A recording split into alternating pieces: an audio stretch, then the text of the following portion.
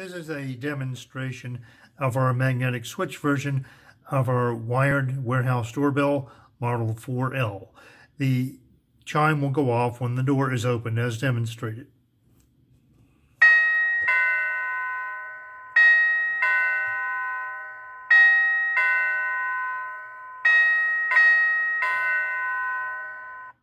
As you can see, it will stay activated until the door closes.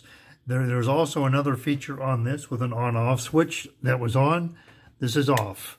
Turn it off when you don't want to hear it. Door opens, as you can see, nothing happens. Door closes, turn the switch back on. Any questions, give us a call at 800-641-4111. Bye.